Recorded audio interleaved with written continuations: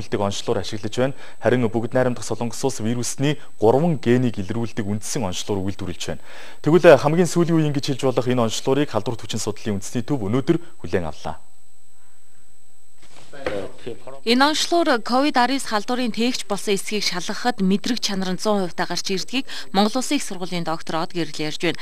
Жишээлбэл ковид-19 халдвараар өвчлсөн 100 хүнийг шинжилгээд бүгд халдвартай гэсэн хариу гарах юм байна.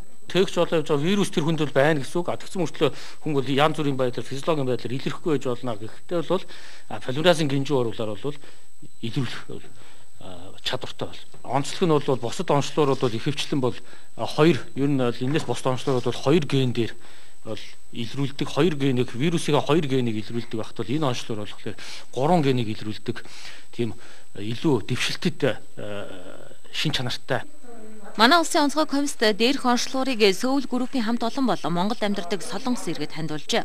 Онцлогоо сайн бах нь халдварын тархалтаа сэргийлэх чухал ач холбогдолтой учраас улс орнууд үүнд ач холбогдол өгч байна. Халдварт өвчин судлалын үндэсний дөө дэлхийн эрүүл мэндийн байгууллагаас хүлээн зөвшөөрсөн 3000 ширхэг үндсэн онцлогтой болж байна.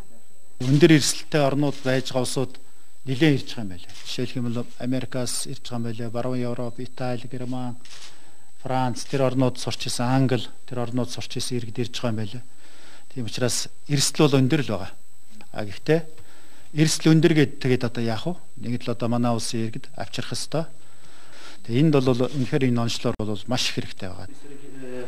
Дэлхийн олон оронд эрэлттэй байгаа энэ онцлогыг халдварт өвчин судлалын үндэсний төв ашиглаж эхэлнэ. Бүгд найрамдах солонгос улсад үйлдвэрлэж байгаа онцлогыг Америкийн нэгдсэн улс тэргүүтээ дэлхийн 45 улс орон худалдан авч байгаа юм байна. Дэлхийн нийтэд коронавирусны өвчлөлийн тохиолдлуудын 30-аас 40% нь шинж тэмдэггүй